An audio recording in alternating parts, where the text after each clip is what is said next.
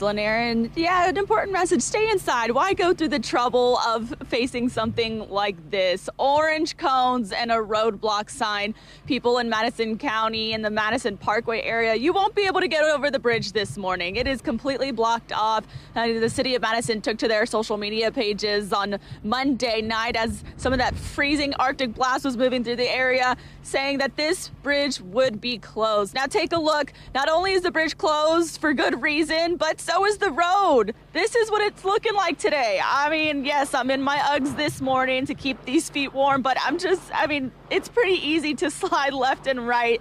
You don't want to fall and you don't want to slide or slip while you're driving on these roads this morning. It's a ghost town in Madison today for good reason, as I've mentioned. Uh, most schools are closed. The Madison County School District is closed this morning. As you can see, one lone car on the road today.